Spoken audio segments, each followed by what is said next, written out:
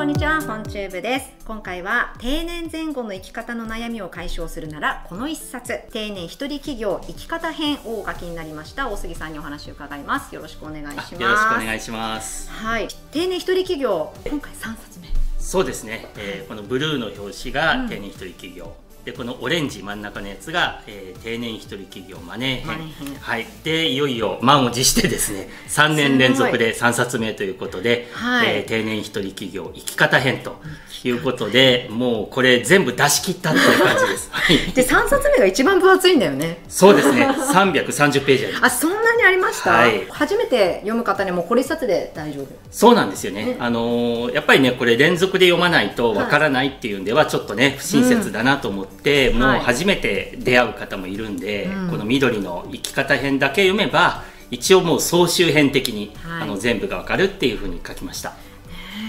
定年一人起業するならもうこの一冊読んでおきましょうっていう感じですね、はい、集大成の一冊になっています。大杉さんというと会社員の時からスムーズに一人起業できた方なんですけれども、はい、どんな副業の仕方が有効なんですかね？あの思いついてパッと会社辞めて起業するっていうのはやっぱり大体うまくいかないんですよ。やっぱりね最低でも2年ぐらい準備期間を持ってちゃんと戦略を立てて、えでまあできればあの副業が OK の会社なら副業で試してみて、で私はあの副業ダメだったんで、あのもうお金はもらわずに、まあいろいろブログを書いたりとか、まあ、お金をもらわない準備を 2, 2年ぐらいやって起業したんですね。だからまあ準備が大事ってことです。一年発起はい来月辞めますとかじゃダメなんですね。ダメなんですよ。よくね もう感情的になってね、はい、大体人間関係でね嫌だって言ってもう上司にね、うん、もうなんか単価切って辞めますみたいな、うん、それだとねなかなかちょっと厳しいんですよ。厳しいんですね、はい、でも普段の仕事に加えてその週末ボランティアなのか、はい、ブログなのかわからないですけれどもそういうことしてるって、にあの増えるじゃないですかやることが、はいはい、結構大変じゃないですか？あのそこがねやっぱコツがあって、うん、好きなことをやっぱりやって、はい、えー、それを仕事にするっていうのがまあ一番大事なポイントなんで、うん、嫌なことだと大変だけれども好きなことならそうなんですよ。だって仕事やった上にまたね副業だとかなんか準備だとか大変じゃないですか、はい、リスキリングとかも言われちゃったりして。そうなんですよ。リスキリングっていうのはね いろいろあると思うんですけど、みんなやっぱりね何やったらいいか分かんないっていう方が多いんですね、はいでそういう中で、まあ、一つは好きなこと、はい、でもう一つは私この本にズバッと書いたのが、うん、ICT 活用なんです。ICT はいはいこの世代、定年世代。定年世代、はい、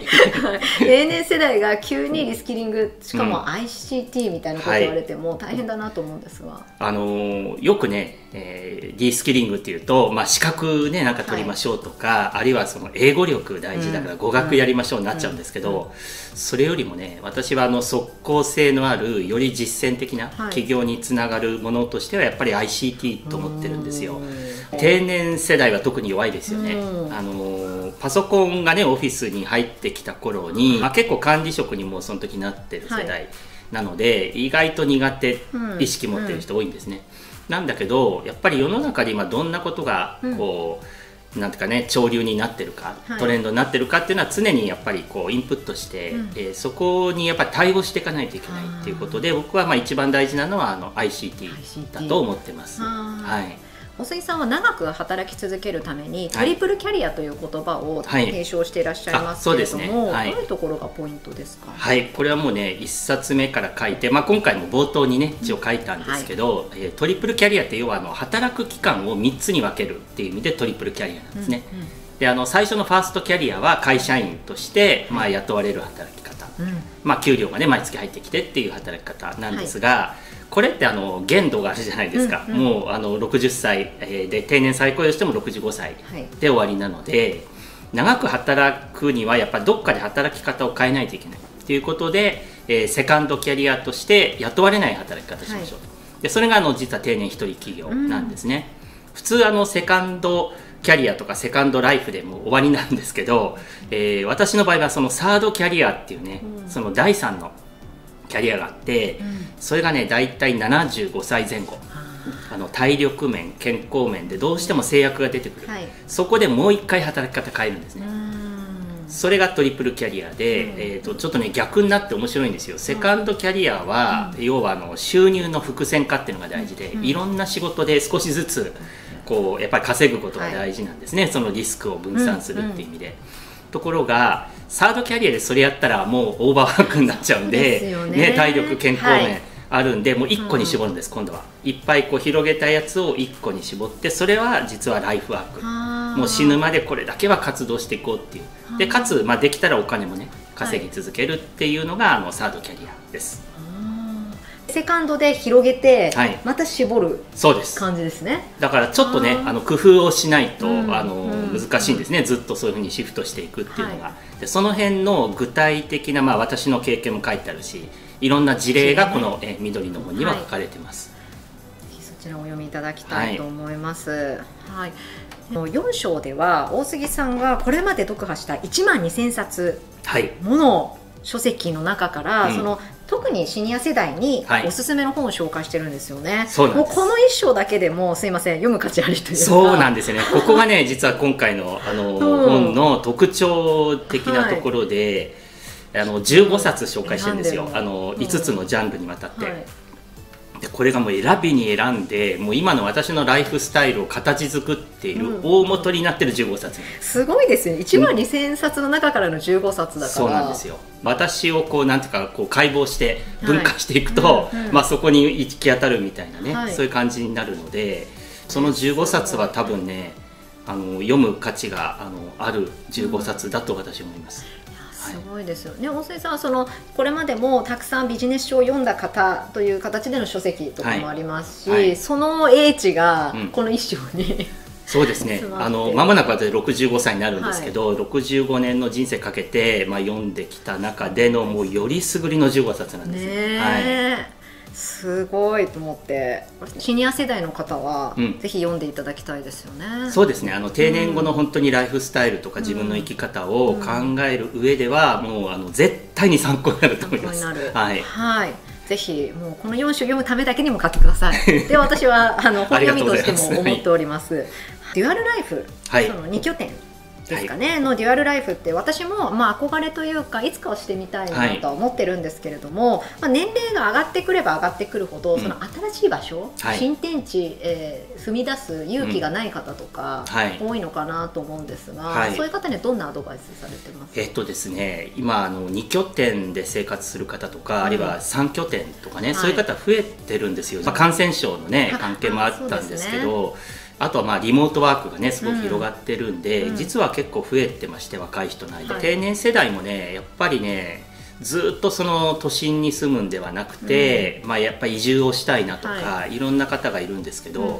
移住っていうと私からすると一大決心なんですね、うん、そうそうですね、はい、でも2拠点ってまああのもうやめようかなと思ったらやめれるし、はいはい、でコストがかかるっていう人も、うんうん、あのいるんですけど実は2拠点にするともうあんまりいっぱい物が持てなくなるんですよ。それね行ったり来たりするんで。はい、はい、なので意外とお金かからないっていうかですね、うん、まああの2拠点はおすすめだし、えーと、何がいいかっていうとね発想が湧くんですね、うんあの特に私埼玉と伊豆で、ね、2拠点なんですけど伊豆にいる時はやっぱクリエイティブな仕事がすごくはかどって、はい、まあ、今回330ページこれ1週間でアウトプットしてるんですけど 書いたのはやっぱ伊豆で、えーまあ、温泉に入りながら海見ながら書いたっていうことで。えー、その前にね1年ぐらいかけてインプットを、あの、はい、やったりこう設計図書いたりしてるんですけど、はい、実際に文章書いたのは1週間なんで。そうなんですね。1日1章じゃないですか。そういうもうまさにそうなんです。1日1章書いて、えー、で最後あの2日間は全体の構成とか目次とか前書き後書きもう一回見直すとかっていうふうにして作ってるんで短期間でねでもね書き切ると勢いのある文章になるんですよ、うんうん、だからまあ私の読んだ人はあの本当読みやすいとか、一気に読みましたとかっていう方多くて、それは多分ね短期間に集中してアウトプットしてるからだと思います。ですね。ご家族からの反対はなかったんですか？二拠点。反対というよりはねむしろあの社長である家内の方が、あの推進派だったんですね。あのまあちらっと書いたんですけど、対の住処の、あの候補にしてるんですよ。はい、はい、もうあのお金あんまりなくなったら、はい、伊豆本当にね生活コストがかからないんですね。なので、えー、もうそこに引っ込めば年金だけで食べていけるっていう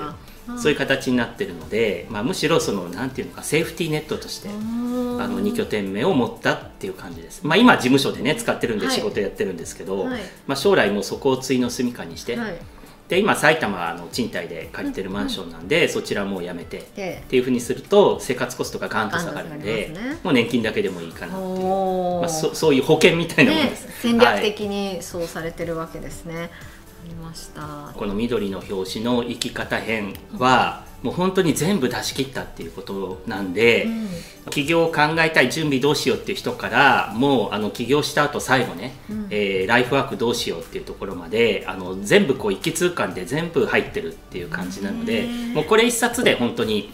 定年前後のあの生き方っていうのが分かるっていうことなんで、はい、まずねこれ読んでほしいです、ね、緑を、はい、はい、でさらに詳しく知りたいなっていう方は、うんうん、えー、このブルーの表紙はどっちかっていうとね、考え方。と私の経験がすごく書いてある。だから私の自己紹介みたいな本なんですこれ。はいだまあちょっと興味あるよって方はこれを1冊目。でお金老後資金に特化してっていう方はこの真ん中のオレンジ、この本は私たち世代からも読み始めてもいいかなって、そうですね。若い方結構そのオレンジの本はあの投資についてとかね、うんうん、えー、それから年金についてとか、詳しく書いてあるのはこのオレンジなんですね、はい、だからまあ3部作全部読んでいただくのが、まあ、もちろん一番いいえー、いいですし私も嬉しいんですが、はい、ただ1冊どれかって言われたらまずはこの緑の。はい読んでいただくと、あの一番いいかなと思います、えー、著者の実体験に加え豊富な読書体験にも裏付けされた視点で定年後の働き方にとどまらず生き方の指南書としても読める一冊です。大杉さん本日はありがとうございました。どうもありがとうございました